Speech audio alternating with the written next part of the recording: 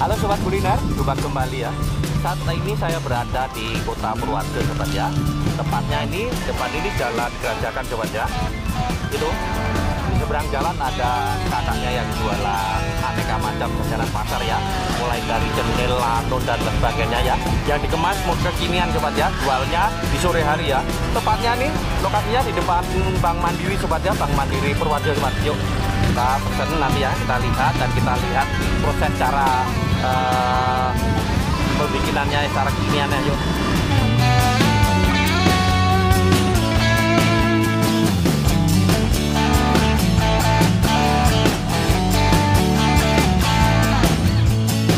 Nah ini sobat ya ini menunya nih mulai dari apa ini pa, apa ini patola ya ter, terbaik serabi kocor nah apa ini lagi.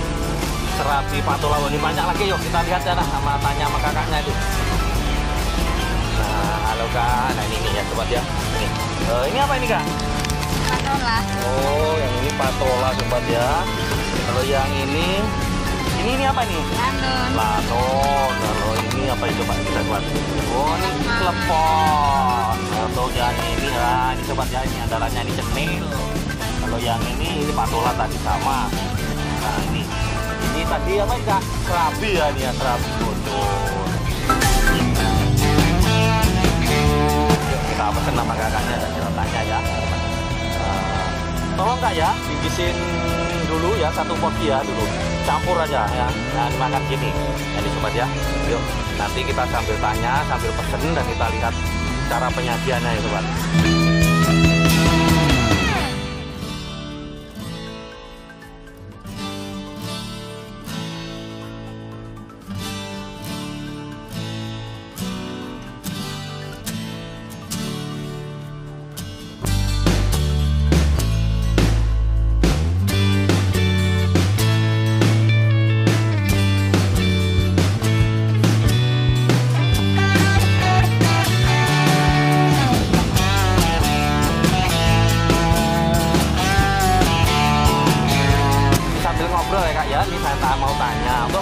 bukanya kak.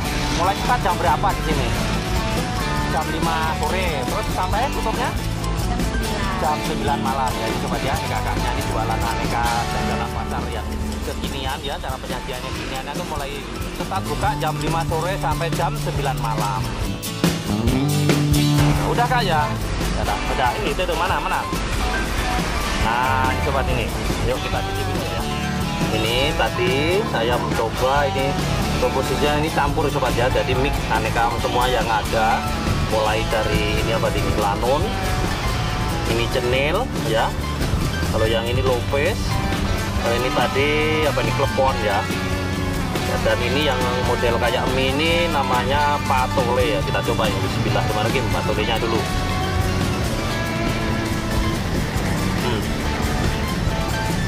rasanya ini sobat ya manis ya cenderung ke manis sobat ya. Karena ini ada apa ini ya gula merahnya ya sobat ya.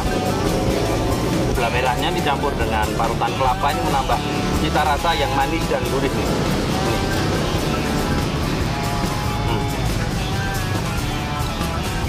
ini tadi ki- apa ini tadi ya? Kicak ini tadi ya sobat ya. Ini bahannya dari ketan ini ya. Enak banget kuno banget ketannya ya. Dicocoli sama gula merah sama kelapanya nih jadi gurih manis gurih.